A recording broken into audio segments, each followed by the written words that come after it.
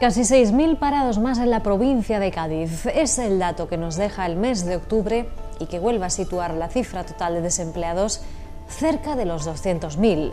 El final del verano ha supuesto una subida del 3,12% con respecto al pasado mes de septiembre, donde Algeciras ha sido el municipio que ha registrado un mayor aumento, seguido de San Fernando. Los sindicatos alertan sobre la estacionalidad del empleo en la provincia gaditana. Saludos, bienvenidos a este espacio de noticias de 8 Cádiz en este martes 4 de noviembre que comenzamos con estos datos del paro, un asunto del que les vamos a dar más detalles a continuación, pero antes damos paso a José Grima para que nos avance lo que lleva hoy en Carranza 10. Buenas noches, José. Buenas noches, Cecilia. Hoy jornada de descanso para la plantilla del Cádiz Club de Fútbol, que mañana miércoles se retornará a los entrenamientos en la Ciudad Deportiva del Rosal y pendientes estamos de la evolución de Juan Villar. Hay que recordar que abandonaba el eh, partido del fin de semana entre San Roque del Lepe con un E15 de tobillo y ahora todas las miradas apuntan a ver si el onubense podría estar o no disponible cara al partido del domingo a las 12 del mediodía ante la Almería B que vamos a contar en directo una vez más para toda la red de 8 en la provincia de Cádiz. Hablaremos de eso, hablaremos también del rival de la Almería B que empataba a cero en el campo del Villanovense y vamos a tener eh, como cada martes posibilidad de ver los mejores goles que nos ha dejado la duodécima jornada en el grupo décimo de tercera división. Así que en unos minutos arranca Carranza 10. Gracias. Eh, tras este informativo regresa con Carranza 10. Ahora conectamos con Fernando Santiago para que nos avance ese comentario de hoy. Adelante, Fernando. ¿Qué hay, Cecilia? Los políticos de todos los partidos y todas las ideologías nos toman por tontos. Hablamos de este asunto en Colavenia dentro de unos minutos. Gracias. Tras la información meteorológica regresamos contigo y nos haces ese comentario. Ahora vamos a mostrarles los temas más destacados de este martes en los titulares. Octubre nos deja una nueva subida del paro en la provincia de Cádiz, en concreto 5.795 parados más que en el mes de septiembre. Algeciras encabeza la subida seguida de San Fernando y Jerez. El tranvía de la Bahía de Cádiz iniciará el 17 de noviembre su fase de pruebas entre San Fernando y Chiclana. La parada de la venta de Vargas será donde se instalará la primera marquesina. Dentro de la denominada Operación Periplo, efectivos de la Guardia Civil y del Cuerpo Nacional de Policía han detenido 18 presuntos integrantes de una organización criminal que estaría detrás del secuestro, tortura y asesinato de un joven gaditano cometido el 5 de agosto. El grupo Pulmantur ha manifestado su apuesta por el astillero gaditano para reparaciones de sus buques tras invertir 22 millones de euros en los últimos tres años.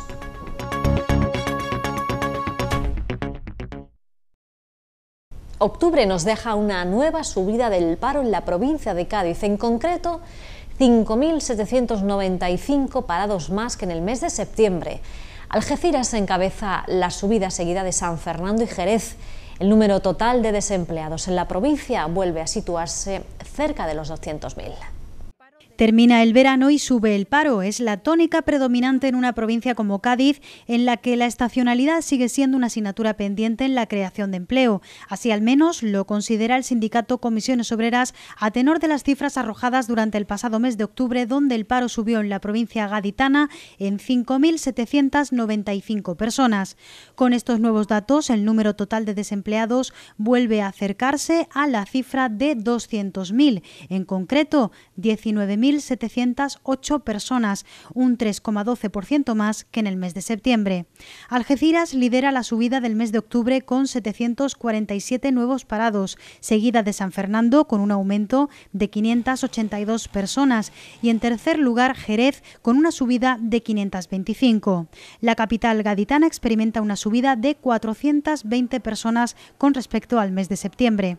Por sectores, el que experimenta una mayor subida es, una vez más, el sector servicios, por lo que los sindicatos lamentan que el empleo en la provincia de Cádiz sigue dependiendo en gran medida de la época estival. Desde Comisiones Obreras piden a las administraciones que reactiven las infraestructuras que actualmente se encuentran paradas para que generen riqueza y empleo. El tranvía metropolitano de la Bahía de Cádiz iniciará el próximo 17 de noviembre su primera fase de pruebas entre los municipios de San Fernando y Chiclana. Lo ha anunciado el delegado de Gobierno de la Junta en Cádiz, Fernando López Gil, quien también ha adelantado que a finales de noviembre comenzará la instalación de marquesinas. La primera de ellas junto a la venta de Vargas en San Fernando. El próximo 17 de noviembre podremos ver el tranvía de la Bahía de Cádiz funcionando en fase de pruebas, concretamente en los 10 kilómetros que discurren entre el nudo de la Ardila en San Fernando, punto de conexión con el ferrocarril, y el acceso a Chiclana de la Frontera en la denominada Parada del Pinar de los Franceses. El delegado territorial de Fomento, Manuel Cárdenas, ha detallado que los ensayos principales, tanto de aceleración como de frenado, se desarrollarán en el tramo interurbano paralelo a la autovía A48 que conecta ambas poblaciones. Este tramo permite adquirir velocidades máximas de 100 km por hora.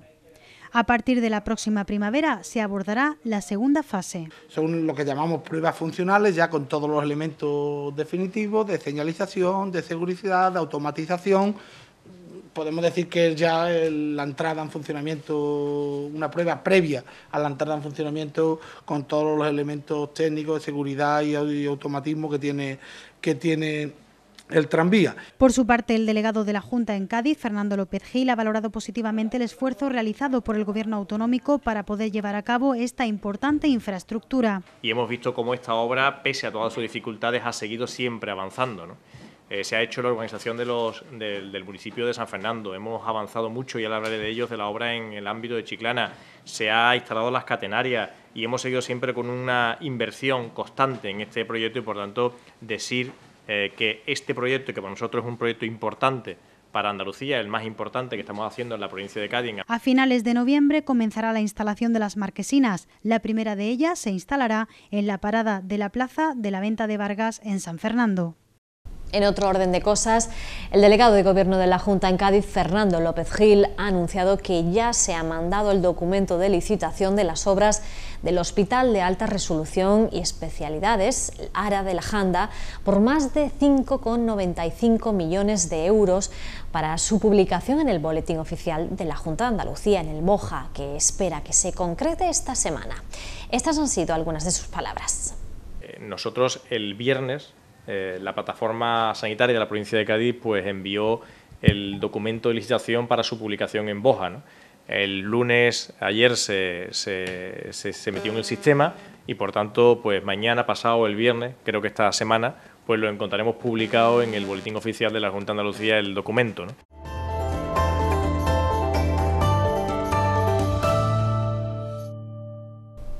Dentro de la denominada Operación Periplo, efectivos del Cuerpo Nacional de Policía y de la Guardia Civil han detenido a los 18 presuntos integrantes de una organización criminal que estaría detrás del secuestro, tortura y asesinato de un joven gaditano cometido el pasado 5 de agosto. Cabe recordar que el cadáver de la víctima fue localizado con signos de violencia en una zona rural del municipio gaditano de Puerto Real, iniciándose una investigación que ha culminado con la detención de los presuntos responsables. La operación Periplo, llevada a cabo por la Policía Nacional y la Guardia Civil, se ha saldado con la detención de 18 presuntos integrantes de una organización criminal que se dedicaban al secuestro y tortura de sus víctimas con fines económicos. Las detenciones se realizaron durante la madrugada del pasado 16 de octubre entre Cádiz y Madrid. Según los agentes de ambos cuerpos, esta banda podría estar detrás del secuestro, tortura y asesinato de un joven de Chiclana de la Frontera cometido el pasado 5 de agosto. La organización, según fuentes policiales, actuaba por toda la provincia de Cádiz y contaba con una gran infraestructura logística con el fin de ejecutar los crímenes. Deciros que gracias a la, a la intervención tanto del Cuerpo Nacional de Policía como de la Guardia Civil, pudimos, aparte de esclarecer otros hechos delictivos de similares características que gracias a Dios no tuvieron el mismo desenlace, pues pudimos evitar cinco secuestros más que ya tenían perfectamente ultimados y con toda la información sacada de todas sus víctimas. Os puedo decir que tenían eh, horarios de, salida y entrada del colegio de los hijos de las personas que ellos habían marcado como su objetivo. Era el núcleo duro en el que se encontraba al frente el líder, que son los que iban, eh, ejecutaban eh, los actos finales, el, asalto a las casas para los secuestros, torturas y posteriormente si tenían que utilizarlo, pues asesinaban finalmente después de vejaciones y de torturas. Eh, tenían otro grupo que se dedicaba a la logística. Había un grupo que se dedicaba pues, a facilitarle viviendas a este grupo para que residieran en aquellas localidades en esta operación, la Guardia Civil de Cádiz ha decomisado varias pistolas, chalecos antibalas, grilletes, un cordón metálico para estrangular y caretas para ocultar sus rostros en los secuestros. Navantia Cádiz ha comenzado los trabajos de reparación y acondicionamiento del crucero Sovereign que pertenece al grupo turístico Pullman Tour. El presidente de este grupo, Jorge Vilches, ha señalado que este es el tercer año que apuestan por los astilleros gaditanos ya que, según Vilches, cuentan con una gran experiencia en este campo. Ha señalado que en los últimos tres años su compañía ha invertido en Navantia Cádiz cerca de 22 millones de euros. El buque insignia de la compañía de cruceros Tour, Sovereign, ha atracado en los astilleros de Cádiz para su reparación y acondicionamiento. Navantia Cádiz se está encargando de realizar las obras en todo el sistema eléctrico y propulsión del crucero. El presidente del grupo Tour, Jorge Vilches, ha señalado que este es el tercer año consecutivo en el que confían en los astilleros gaditanos para este tipo de tareas, con una inversión acumulada de unos 22 millones de euros. Ha puntualizado que para la reparación de este buque se ha contado con un millar de trabajadores de Navantia. Siendo la principal empresa de cruceros española, hacemos una apuesta muy importante por la industria naval en este país. Y no solo en España, sino en Andalucía y en Cádiz. Y esa apuesta pues se refleja en la confianza que llevamos tres años seguidos de eh, poner en manos de los astilleros españoles los mayores trabajos de revitalización de los barcos. Vilches ha explicado que todos estos trabajos servirán para mejorar la experiencia de viaje de los clientes. Por su parte, el concejal de turismo del Ayuntamiento de Cádiz, Bruno García, ha agradecido a la compañía de cruceros que haya depositado su confianza en los astilleros gaditanos, ya que, como ha puntualizado, los trabajos en el dique seco son los más importantes que se pueden realizar en un buque. La titular del juzgado número 5 del puerto de Santa María ha admitido a trámite la denuncia remitida por la Fiscalía Provincial de Cádiz al apreciar indicios de un presunto delito de prevaricación en los actos administrativos realizados en 2010 por la empresa municipal de aguas APEMSA al prorrogar sin concurso público varios contratos de prestación de servicios con Aqualia, entre ellos el de la gestión de la depuradora de aguas residuales. En las próximas semanas tendrán que declarar en calidad de imputados los integrantes del Consejo de Administración de la empresa que votaron a favor de esta decisión. Esto es el exalcalde Enrique Moresco y otras cuatro personas. También votó a favor el actual alcalde Alfonso Candón, aunque al ser diputado y aforado tendría que seguir otro procedimiento en principio ante el Tribunal Supremo. La titular del juzgado número 5 del puerto ha citado a declarar al exalcalde Enrique Moresco, el exgerente de Apensa Juan Campos, el actual consejero delegado de la empresa de aguas Daniel Pérez y los entonces consejeros Carlos Montero y José Manuel Cauqui al apreciar indicios de un presunto delito de prevaricación en los actos administrativos realizados en 2010 por el Consejo de Administración de la Empresa Municipal de Aguas, APENSA, al prorrogar sin concurso público varios contratos de prestación de servicios con Aqualia, entre ellos el de la gestión de la depuradora de aguas residuales. Quien de momento queda fuera de esta citación realizada por el juzgado portuense es el actual alcalde, Alfonso Candón, quien en su calidad de aforado, por ser miembro del Congreso de los Diputados, tendrá que seguir otro procedimiento para prestar declaración por estos hechos, en principio ante el Tribunal Supremo, aunque de momento no se ha determinado cómo se seguirá adelante con este procedimiento. La plataforma Apensa no se vende, que es la que ha llevado los presuntos hechos delictivos ante la Fiscalía, pide al alcalde que renuncie a su condición de aforado en este asunto, ya que se trata de unos hechos que tuvieron lugar antes de que fuera miembro del Congreso. La plataforma entiende que la hipotética apertura de una pieza separada por la condición de aforado de Candón dilataría el proceso, por lo que entienden que sería una forma de blindarse ante la justicia que los ciudadanos no comparten. La plataforma se va a personar como acusación particular. Fue a finales de septiembre cuando se conoció el decreto de la Fiscalía por el que se decidía remitir al juzgado la causa denunciada por la plataforma tras haberse adjudicado contratos sin concurso público a la empresa Aqualia, hoy socio tecnológico de la empresa municipal, por un importe de 32 millones de euros desde los años 90. El fiscal apreciaba en su escrito un posible delito de prevaricación y otro de malversación de caudales públicos. El Partido Popular de Cádiz continúa aportando datos sobre la supuesta relación entre el Partido Socialista de Sanlúcar y la trama del fraude de los cursos de formación en la que se encuentra imputado el ex consejero Ángel Ojeda. El parlamentario andaluz del Partido Popular, Rafael Ruiz Canto, insiste en demostrar que las empresas pertenecientes al ex consejero se beneficiaron de ayudas para planes de formación gracias a relaciones personales con miembros del PSOE de esta localidad. El ex consejero de la Junta, Ángel Ojeda, recibió casi 4 millones de euros para cursos en la provincia en concepto de subvenciones firmadas por su cuñada a cuatro días de las elecciones autonómicas de 2012. Así lo denuncia el parlamentario andaluz del PP, Rafael Ruiz Canto, tras aportar nuevos datos sobre la supuesta relación entre el Partido Socialista de Sanlúcar y la trama del fraude de los cursos de formación. El dirigente popular ha sacado a la luz nueva documentación en la que se pone en evidencia que la entonces directora general de Formación Profesional para el Empleo, Teresa Florido, firmó el 21 de marzo de 2012 hasta 10 expedientes de ayudas a favor de las empresas de Ojeda. Repartidos de forma amistosa, ¿no? como hemos visto, pues carentes de todo procedimiento regular, carentes de, todo, de toda competencia y carente de la publicidad necesaria para que haya transparencia. En este sentido, explica que cada subvención debería estar vinculada a un curso concreto y, sin embargo, los expedientes vinculan cursos distintos que en algunos casos no llegaron ni siquiera a impartirse en la provincia de Cádiz. Les hablamos ahora de dos asuntos referentes a la zona franca de Cádiz. Eh, señalar que hoy ha licitado las obras de adecuación de dos naves ubicadas en el recinto interior y que serán utilizadas como zona de almacenamiento y de material sanitario. Y por otro lado, que el consorcio de la zona franca gaditana ha sido galardonado con el Premio Andalucía Excelente 2014 en la categoría de gestión institucional. Tal y como indica la zona franca de Cádiz, hoy se ha publicado en el BOE la licitación de las obras de adecuación de dos naves ubicadas en el recinto interior y que serán utilizadas como zona de almacenamiento de material sanitario.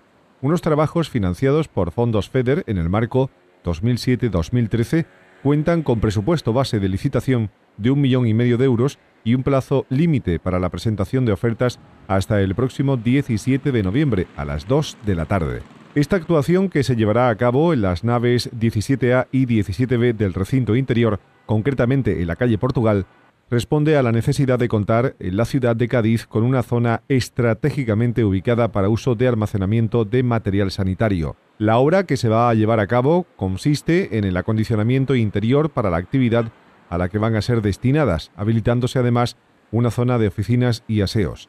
Las dos naves cuentan con una superficie total de 3.950 metros cuadrados.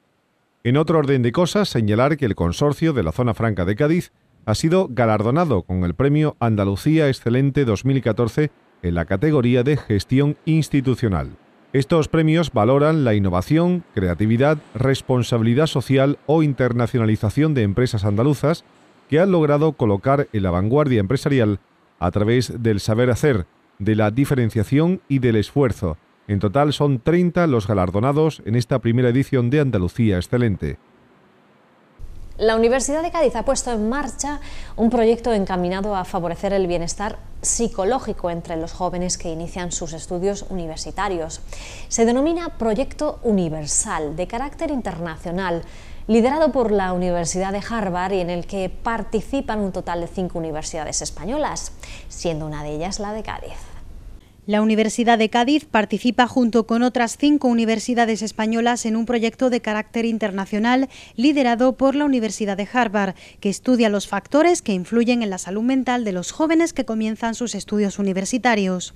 Se denomina Proyecto Universal y consiste en la elaboración de unos cuestionarios online de los cuales se puede identificar los agentes que contribuyen al bienestar del estudiante y su adaptación a esta nueva etapa, una vez que han dejado atrás su adolescencia y que acaban de salir del bachillerato. El, estudio está dirigido fundamentalmente a estudiantes de, fundamentalmente no, a estudiantes de primer curso de 18 a 24 años y bueno, básicamente es una encuesta online en la cual bueno, pues eh, se van a explorar diferentes facetas, tanto sociodemográficas como de conductas saludables, como antecedentes personales, como acontecimientos estresantes. En esta primera etapa se evaluarán a los alumnos que acaban de empezar el primer curso de sus carreras universitarias. Los mismos alumnos serán evaluados una vez más al finalizar este primer curso y se les hará un seguimiento a través de una tercera encuesta cuando comiencen segundo el próximo año. Un trabajo en el que está eh, también metido a nivel internacional la Universidad de Harvard. Que bueno, que está bien que participe, pero yo creo que para la Universidad de Harvard es un orgullo para ellos poder contar con profesores como José Almeriana Almenara y Carolina Lagare en sus proyectos de investigación. En España participan, además de la Universidad de Cádiz, la Universidad Pompeu Fabra, la Universidad de las Islas Baleares, la Universidad Miguel Hernández de Alicante, la Universidad del País Vasco y el Instituto de Investigación del Hospital del Mar de Barcelona. Veamos ahora las previsiones del tiempo para mañana miércoles, luego la opinión.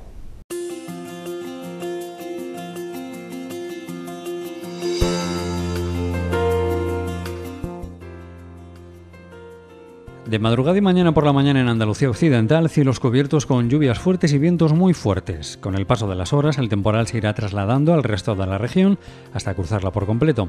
A primeras horas, temporal marítimo en el Golfo de Cádiz, cruzando el estrecho y arreciando en el Mediterráneo conforme avance la jornada.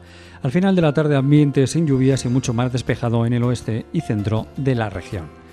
De madrugada y por la mañana en la provincia de Cádiz, muy nuboso o cubierto con lluvias fuertes que pueden ser tormentosas y acompañadas de ráfagas de viento variable de 80 km por hora.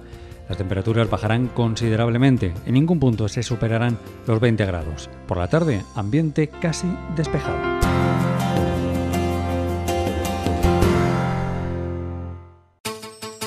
Con la venia, la firma de Fernando Santiago con la venia.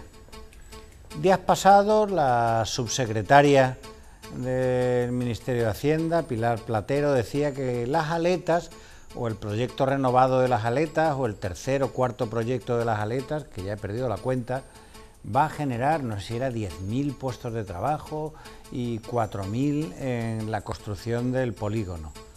La consejera de fomento de la Junta de Andalucía, de Izquierda Unida, Elena Cortés, dice que la nueva red de carriles bici de Cádiz va a quitar 5.000 vehículos de las calles y va a hacer que se ahorren 1.000 litros de combustible diarios.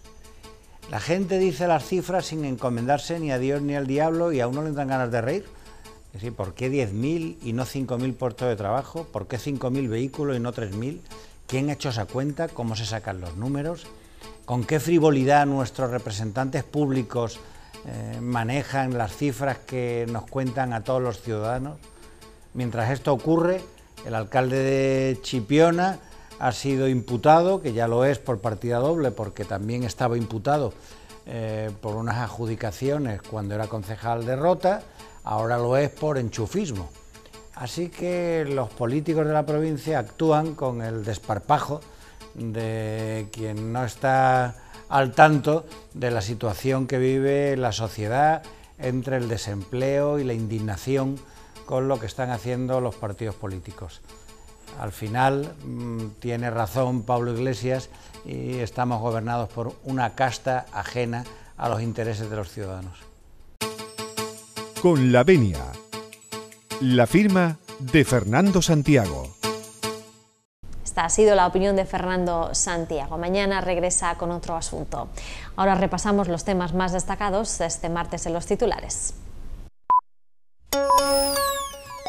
Octubre nos deja una nueva subida del paro en la provincia de Cádiz, en concreto 5.795 parados más que en el mes de septiembre. Algeciras encabeza la subida seguida de San Fernando y Jerez. El tranvía de la Bahía de Cádiz iniciará el 17 de noviembre su fase de pruebas entre San Fernando y Chiclana. La parada de la venta de Vargas será donde se instalará la primera marquesina.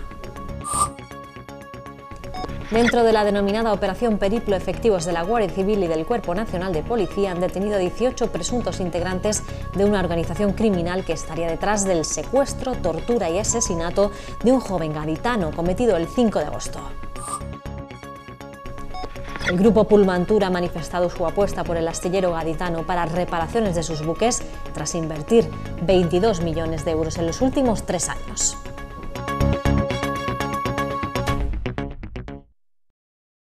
Hemos llegado al final de este tiempo de noticias. Ahora les dejamos con José Grima, con Carranza 10 y luego Café del Correo. Mañana regresamos con más información a la misma hora. Pasen una feliz noche.